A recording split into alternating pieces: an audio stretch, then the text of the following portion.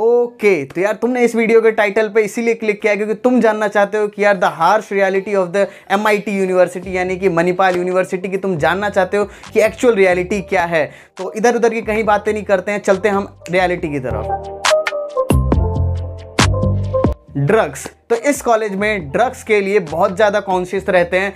Parents को भी यही लगता है कि यार, ड्रग्स इस कॉलेज में बहुत ज़्यादा होता है, इसलिए बच्चे सबको वो भेजते ही नहीं है इस कॉलेज में, डर के मारे कि यहाँ ड्रग्स तो कुछ ज़्यादा ही नहीं है। क्या ये असली में ऐसा सच्चाई है कि नहीं?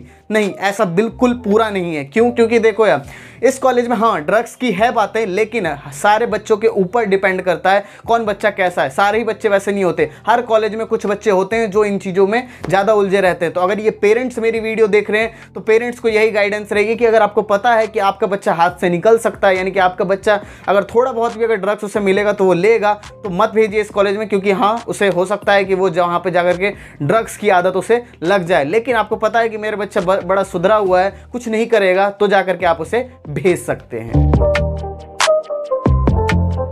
प्लेसमेंट्स एमआईटी की प्लेसमेंट्स के बारे में बात की जाए तो यहाँ की प्लेसमेंट बहुत ही अच्छी रहती है। यहाँ का एलुमनाई बेस बहुत अच्छा है। लेकिन यार एक चीज़ बहुत बुरी है इस कॉलेज में प्लेसमेंट से। क्या है यार? छः सात लाख की एवरेज प्लेसमेंट जाती है यहाँ पे।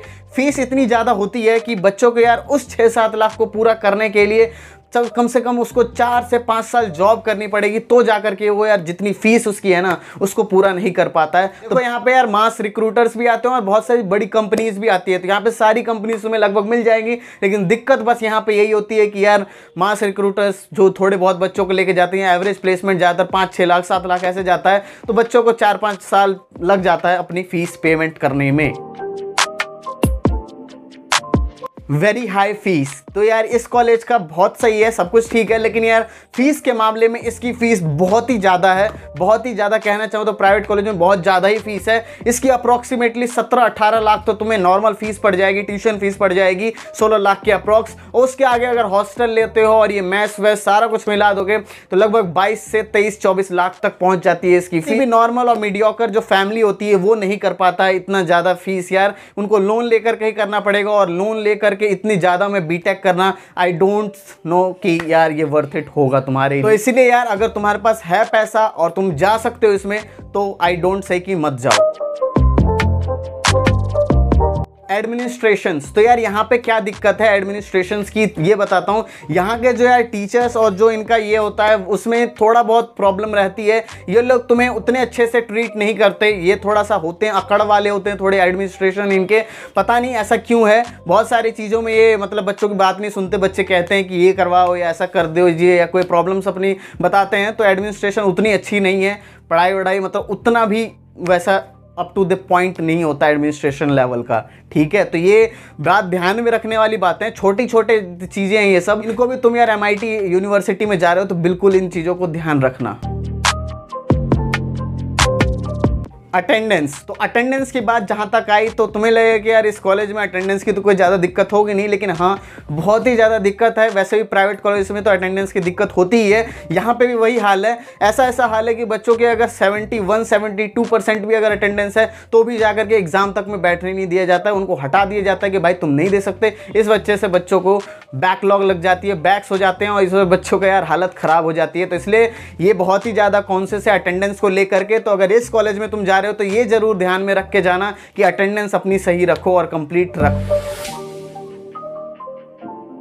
हैक्टिक स्केड्यूल इस कॉलेज में कोई ज़्यादा भी हैक्टिक स्केड्यूल नहीं होता। जैसे नॉर्मल कॉलेजेस होते हैं, वैसा ही है इस कॉलेज में भी। अगर तुम देखना चाहोगे कि बस थोड़ा सा है कि अगर नॉर्मल तुम गवर्नमेंट कॉलेजेस की तरफ़ देखोगे तो उससे थोड़ा ज़्यादा तो है ही, जैसे प्राइवेट कॉलेजेस के होते हैं, लेकिन उतना ज़्यादा भी नहीं है। जैसे कि इससे पहले मैंने तुम्हें वी आई वेल्लोर की वीडियो नहीं देखी, जाके देखना, वहाँ कैसा हाल रहता है। तो हाँ उतना ज़्यादा भी हैक्टिक शेड्यूल यहाँ पर नहीं रहता है। ऐसी मिथ फैला रखा है, कुछ ज़्यादा ही हैक्टिक शेड्यूल है। सीज़न, ये बहुत ही छोटा सा एक पॉइंट है। देखो, वैसे तो वहाँ पे बड़ा अच्छा माहौल रहता है। मतलब तुम्हें हर मौसम में बहुत अच्छा लगेगा। ऊपर से बहुत ही बढ़िया माहौल रहता है, लेकिन एक रेनी सीज़न जब आता है तो तुम्हें दिक्कत झेलने को पड़ सकती है। जो वहाँ के बच्चे हैं, उन बच्चों ने बताया था मुझे कि वहाँ पर ये प्रॉब्लम बहुत ज़्यादा है कि यार रेनी सीज़न के टाइम पर दिक्कत उन्हें होती है और जो बच्चा वहाँ जाएगा, उसको पता चल जाए कि क्या दिक्कतें आती है रेनी सीज़न में। कंक्लूजन तो कंक्लूजन क्या है यार? क्या हमें लेना चाहिए यहाँ पे एडमिशन या नहीं लेना चाहिए? देखो, अगर तुम्हारे पास अच्छी खासी फ़ीस है, तुम्हारे पास है पैसे yes you can go for this और तुम्हें एलमनाई बेस बहुत अच्छा मिल जाता है। प्लेसमेंट प्लेसमेंट बहुत ही तगड़ी है यहाँ की। अगर तुम अच्छे पढ़ने वाले हो तो तुम्हारे लिए प्लेसमेंट कहीं नहीं, आराम से अच्छी खासी मिल जाएगी। यहाँ के तुम्हें पता है भाई अब्रॉड अब्रॉड जाते हैं बच्चे तो बहुत ही अच्छा उनको प्लेसमेंट हो जाता है। हायर स्टडीज़ के लिए भी बहुत ही बढ़िया कॉलेज है। तो तुम इस कॉलेज को ले सकते हो और बहुत ही चीज़ें लेकिन ये जो रियलिटीज़ मैंने तुम्हें बताई, ये सारी को ध्यान में रखना अगर तुम किसी भी कॉलेज में जा रहे हो। अब मुझे कुछ कहते हैं कि यार, आप ये नहीं बताते कि इस कॉलेज की अच्छाइयाँ क्या है। उस देखो यार, मैं पहले एक बेकार वाली बनाता हूँ कि इसकी रियलिटी क्या है? उसके बाद हम अच्छे वाले पे भी चलेंगे। तो अगर तुमने वी आई की नहीं देखी है हार्श रियलिटी जा करके अभी देखो, ये रही हार्श रियलिटी और अगर तुमने नहीं देखी हमारी टॉप टेन प्राइवेट यूनिवर्सिटीज़ तो वो जा करके तुम देख सकते हो।